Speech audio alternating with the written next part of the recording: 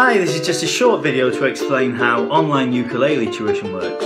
I've always done a bit of teaching over the years, but particularly since the pandemic struck, I've been doing quite a lot, partly because I have more time available on my hands to do it, and also because people are turning to their instruments more for a pastime while uh, other activities are not possible. So uh, every time someone inquires about lessons, I have to explain how the procedure works, and I thought it would be a good idea just to make a little video giving you the answers.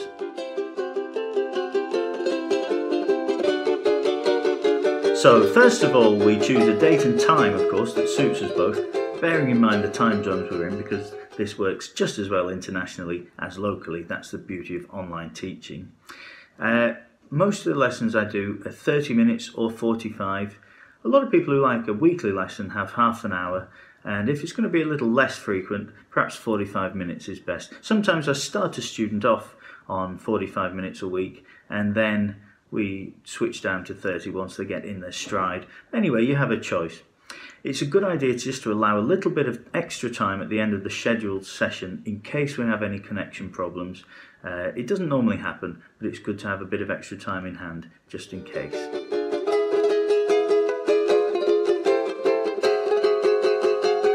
Couple of days before the lesson is due to happen, you have to send me two things. Firstly, the payment, of course, so that I know we're committed to doing the lesson, and secondly, the music that you want to look at. Now, this could be a chord sheet or a piece of sheet music, or it could be just a recording or a link to a video of a song. As long as I have something to have a look at, uh, so I know what we're going to work on, I can familiarise myself with it, and that saves us a bit of time during the lesson itself.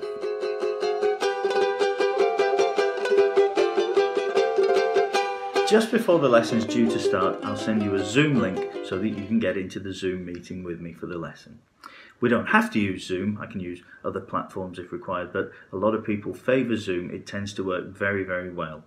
Uh, there is one important setting that you have to make. Go into your Zoom settings and click Enable Original Sound. Uh, if you don't do that, you're on a default setting whereby it tries to cancel out everything that's not speech. It's designed to eliminate anything it recognises as not being the human voice, which is not very helpful if you're uh, playing instruments. So click on Enable Original Sound.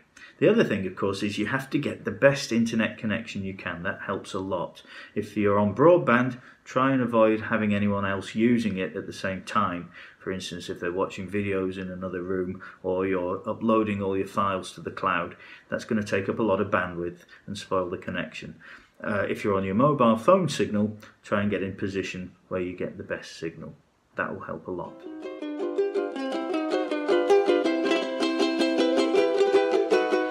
Lesson itself is very much like a standard face-to-face -face instrumental lesson. You play to me, I'll comment, analyse, play back to you, demonstrate how you might improve what you're doing. We'll talk about musicality, we'll talk about aspects of technique, and we'll try to improve the way you're playing. I'll make notes throughout the lesson, give you feedback, and uh, it works very, very well. The one thing we can't do on the internet, of course, is play together because of the time lag. It doesn't matter what system you use, that signal's got to get to the satellite and back, and it's not going to happen. Uh, that's the laws of physics. We can't play together in sync. But anything else we can do that we would do in a normal face-to-face -face lesson.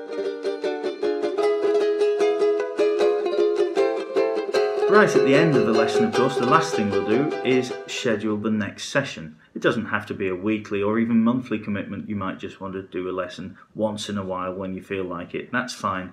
There's no commitment necessary, but we need to discuss it and plan that.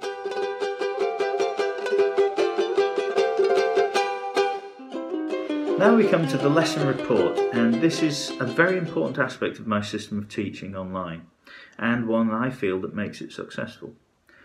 At the end of the lesson, before I do anything else, before I even leave my seat, I'll look at the notes I made during the lesson and I will make and send you a personal video based on that lesson. Now this will recap the main points we discussed to remind you and it will tell you uh, what you need to practice and how to practice it. I will demonstrate the things you need to work on. And this is great because lesson by lesson you will build up a personal series of tuition videos tailored to you and what you're working on.